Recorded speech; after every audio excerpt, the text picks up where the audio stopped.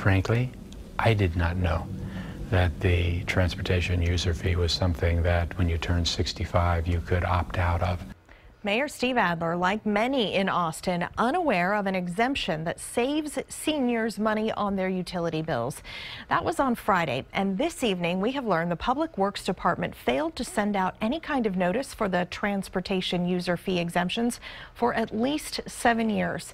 So if you know, you know, and if you don't, you just keep paying. Viewers first brought this concern to our attention, and KXAN investigator Kylie McGivern has been digging into this issue ever since. Kylie, what did you find? Well, today what we found is we went straight to Public Works after several people saw our report on Friday and said they contacted the city to get what's listed as the street service fee taken off their bill. The monthly fee funds street maintenance and repair and ranges from around 6 to $10 a person. I met with one woman who's paid the fee for the last 20 years and didn't have to. If only she had known.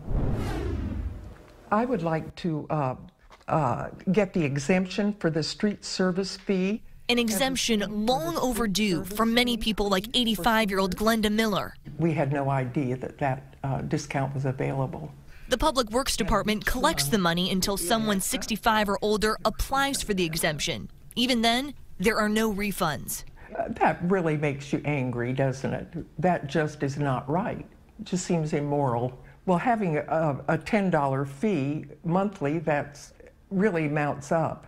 And over the years, it's a substantial amount of money. We spoke with James Snow, who has been with Public Works seven years, and he says notices and bills stopped before he even got there. And on its webpage, there is no mention of fee exemptions. We haven't actually put a flyer out, but during the annual budget process every year as we work through council. What we do is actually we talk about exemptions like this during the council process. But do you think the typical homeowner realizes what to look for and realizes what exemptions are in place? We at the City of Austin have always been trying to make sure that we're more inclusive, more open and transparent about what we do in our budgeting. But people like Glenda aren't seeing anything to support that. And I listen to the news, I read my newspaper. I'm I'm careful. Uh, so I feel that uh, I've done everything that I can, and I was just not informed. Know, whatever way we can to get the message out, we can, uh, and we will try. And after our pressing, those efforts began today. Now, if you go to the webpage detailing the transportation user fee, you'll find a section that talks about the 65 and older exemption and includes an email address. You can also call 311. Keep in mind, Public Works says it could take up to two billing cycles to remove that fee. Shannon?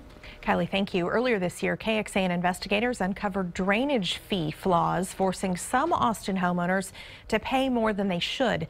The city was using years old aerial maps to calculate what's called impervious cover. That's any ground cover that cannot absorb water, like a roof or a concrete driveway. Since our February investigation, Austin's Watershed Protection Department has corrected dozens of incorrect or outdated assessments and credited residents and businesses more than $33,000.